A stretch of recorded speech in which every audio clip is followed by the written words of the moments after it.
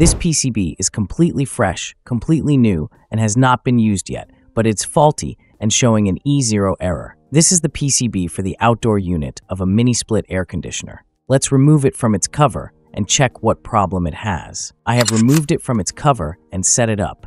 So let's turn it on and provide it with electricity to check what issue is occurring. Now that we have provided electricity, we see 229 AC volts on the multimeter. You can see that the yellow light is blinking, but the other light is still off. This means that the high side is functioning correctly, but the low side is not working because its microcontroller has not turned on. However, Let's first check if there is any issue on the high side, and then we'll check the low side to see what fault has occurred. Now, when we talk about the high side, checking the high side is very important. So let's first test it with the multimeter. We'll start with the IPM, and I have already made a video on IPM testing, which you can check out. Here, we see that it shows zero. It shouldn't have shown zero. Then the next three pins are fine, and no zero reading is showing up. But this pin is showing a zero reading, which means the IPM is currently showing a short. Now, I will switch the sides of the probes, so it should still be showing zero on the positive pin. Let's see what value it shows now.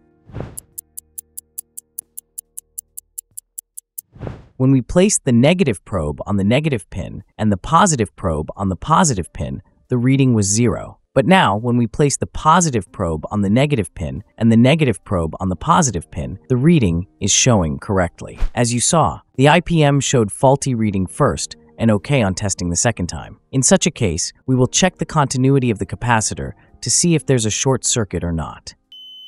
The beep has stopped, which suggests that these capacitors are fine.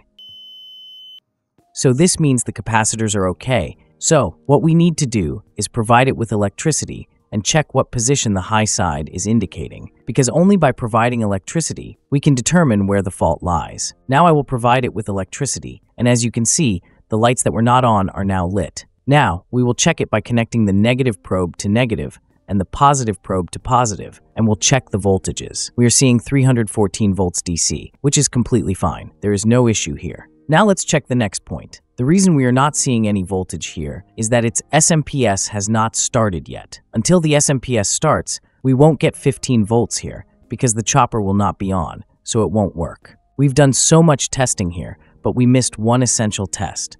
Since this PCB was new, we started working on it directly as nothing looked damaged. Now, I'll explain why I'm saying this. Checking the fuses is very important because if the PCB's fuse isn't working, the PCB won't work. If we look at the fuses, they appear fine but are actually faulty, and I'll explain why. Let's put the multimeter in continuity mode and check the fuse. We will check its main fuse.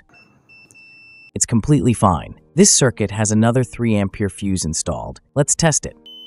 It is also fine. However, there's one more thing worth noting. I don't know how this PCB passed the company's inspection. You can see here that it has a sticker, but I don't know how it passed. I'll show you why this PCB is faulty. If you zoom in, you'll see a fuse that hasn't been soldered correctly in its place. I'll show you the other side too. This is why I say that physical testing is very important. Looking at the other side, you can see that the soldering is incomplete, which is why this PCB is dead. No matter how much you try, it won't turn on. I'll always have doubts about how this passed inspection. This is why physical testing should always be done. Now, I'll solder this fuse properly, then turn it on to see if it works. I have now done the soldering here. You can see it has been soldered from both the front and back sides, and the soldering is now perfect. Now let's turn it on and check. The main purpose of doing this is that it should work, and if both LED 1 and LED 4 turn on, then the PCB will be working perfectly. So we turn on the power, and you can see that both LEDs are on,